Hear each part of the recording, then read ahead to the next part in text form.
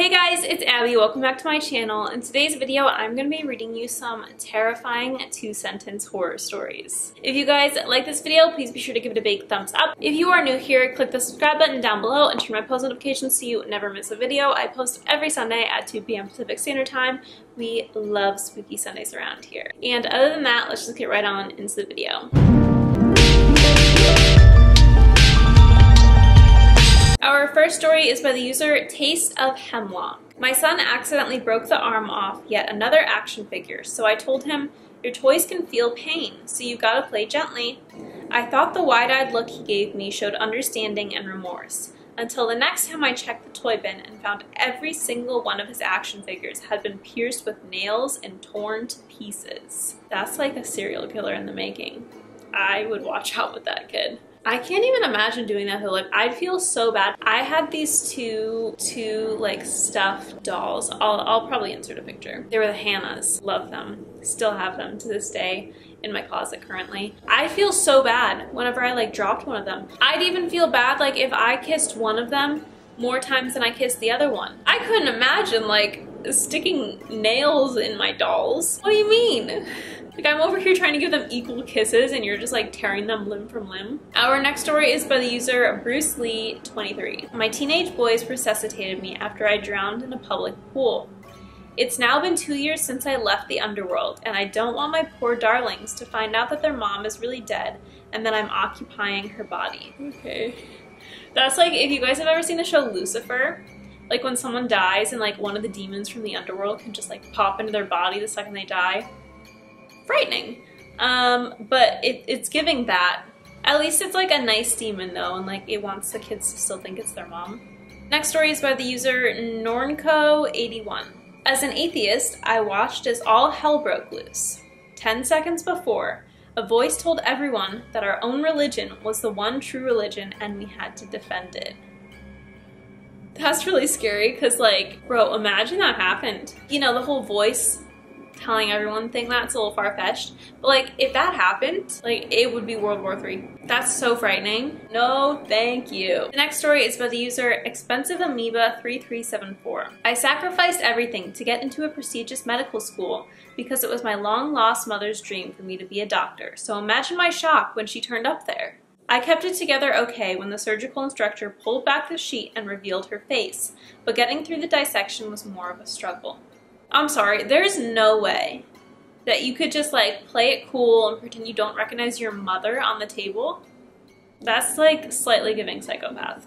The next story is by the user Orion St. James. The old woman told me I die by drowning, so I spent my life avoiding water. As the doctor struggles to drain the fluid building in my lungs and the sensation of slow drowning overwhelms me, I suddenly wish I just enjoyed the beach before suffering the inevitable. I'm actually at a loss for words because there's so much happening in my head right now. Imagine like not living your life for years and years and years because you're afraid of like you're trying to avoid this thing from happening and it happens anyway just like like magically your lungs just manage to fill up with water anyway even though you've avoided every possible way you could drown also the drowning hits hard because i'm really frightened by that concept the next story is by the user Casca in Red. As the villagers piled wood around the poor woman bound at the stake, one man cried out, If she be truly a bride of Satan, why does she not use her witchery to overwhelm us? As nervous murmurs of debate spread through the crowd, the convicted woman quietly said, Oh, I was just waiting until all of you were in one place. Wow. Smart thinking on her part, I'd say. I mean, they, they were trying to kill her, so. The next story is by the user 1289 Boston. If you're trying to dispose of your wife's body, don't use a water tank in the attic. I can tell you, even after five years, you still have to strain out the lumps before making coffee.